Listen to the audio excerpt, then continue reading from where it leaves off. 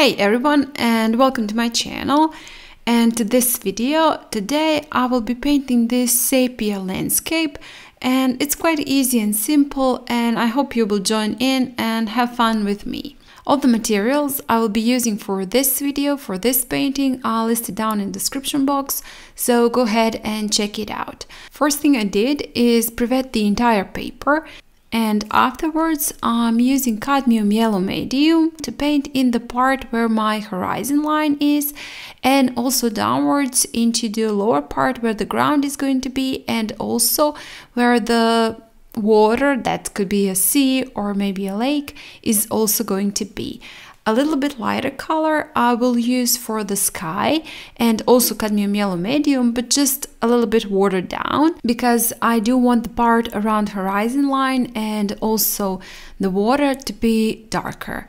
Then I added a little bit of sepia into my cadmium yellow medium for which I do not really want to be so light as the middle part of my sky because I do believe it will just give some interest and variety to the sky. After the paint completely dried, I drew my horizon line, which is just beneath the middle part of the paper, and then painted it with mix of sepia, ultramarine, and cadmium yellow medium, just that part around the horizon line and because I do not want the harsh line I smudged the paint. I did not pre-wet my paper. Before you can also do that. You can pre-wet your paper and then just paint in that part around the horizon line. I did not. So I've used a larger brush to smudge in that paint and then use just the clean water just to go downwards into the lower part of the sky upper part of the sky when turn turn paper around it is a lower part. And then because I did also wanted to, my to pre-wet my sky for painting the clouds. And then I've painted in those clouds. And for them I am using a little bit smaller brush because in a smaller brush you can just have a little bit less water. The larger brush you use the more water there is in that brush. So I did not want too much water in my brush. So I've used a smaller brush and just tapped in the clouds. And when painting wet on wet which I did use which technique I did use here for painting the clouds the, the paint will spread a little it will bleed a little and just give that nice shape of the clouds. And also I am using now a smaller brush. You can use a detail brush. I'm using very very small round brush and it is actually a detail brush uh, to paint in those smaller clouds. And I've just again tapped in the paint here and there to add those smaller clouds. And when the, that paint completely dried I'm using a flat brush to paint in the part just beneath the horizon line. And for that I am again using sepia in which I've mixed a little bit of ultramarine just to have the same colors as I do have in my sky and of course a little bit of cadmium yellow medium. And I did actually add just a little bit but just a little bit of Madder Lake red light. And those are the colors I used for the for that ground for the beach.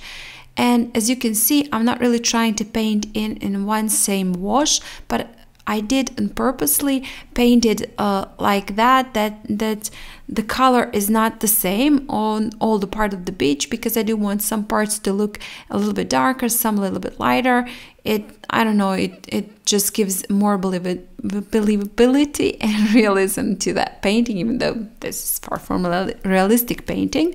But you know I did wanted to have diversity in that so I did not try to paint one similar wash. And then afterwards just again with that flat brush I've added a little bit of horizon horizontal lines to the part where my water is and those lines are a little bit thicker on the part nearer to us and a little bit thinner on the further away and a little bit uh, further apart where nearer to the on the part that is near to us and a little bit closer on the part that is further away i believe that will just give the impression of perspective and that is that that part is a little bit further away from us. I hope that made sense you know. I know what i was thinking. I hope you understood what i was thinking. So after that I've added a little bit of trees, bushes in far uh, in further distance. So I've used first a lighter wash of sepia and cadmium yellow medium, and then just tapped in a little bit more paint here and there just to make make it look like there those are the trees and some parts of the trees are a little bit darker and some are a little bit lighter and then with a smaller detail brush I've just painted the upper part and just you know to make it look as though there are some branches there so I've actually went out those lines that the bushes are and just painted those little thicker line. I would do that usually with a script brush or liner brush, but I have actually moved temporarily. You know, I live half year, I live in rural part of my country and for about five or six months i live uh, on the coast. So i just moved recently and i forgot my script brush. That is just so unbelievable. I was just so sad when i saw it. I could, just couldn't believe that. That's actually the brush that i love the most and use the most but i've forgotten it so now i'm using a detail brush or a smaller round brush whatever i have. Back to the painting. Now I've painted first I've painted the tree trunk for my palm tree and afterwards just painted the branches and now I'm adding the leaves to the branches with a smaller round brush. Again if you have a liner brush or a script brush you can use that brush to paint it or a detail brush whatever brush you like to, to use for painting in the thinner lines and uh, as I said I've just added then those lines and after I finished with my palm tree, I've just decided to do it was actually my reference photo, so I've added two people walking on that water.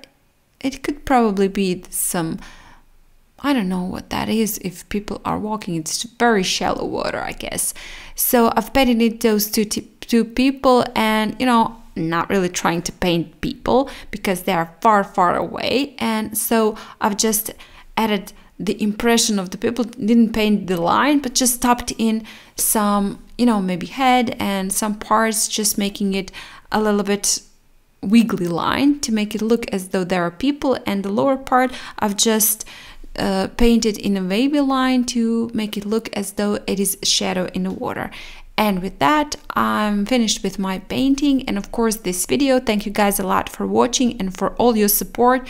And thank you so much for sharing your paintings on Instagram. I love to see that. You, you just, I can't tell you how much that happy that makes me. And every time I see any painting from any of you, it just wow, my heart is full. I'm so happy. I just, I never thought when I started making these videos, I actually never thought that people will use my tutorials and paint using my tutorials. And when I see that on Instagram, oh, I'm just, I'm overwhelmed. I'm just so, so happy. And thank you, thank you, thank you. I cannot tell you enough how grateful I am for every single one of you and every single comment you give me and and support and encouragement it really does mean a lot to me. Really really does mean a lot to me and you can absolutely believe that. And well i guess if you haven't subscribed to my channel please do that. Do that and i'm planning to do a lot of nice things for you in the future a lot of nice tutorials. So do that. Subscribe to my channel and well i guess i hope i'll see you next time. Bye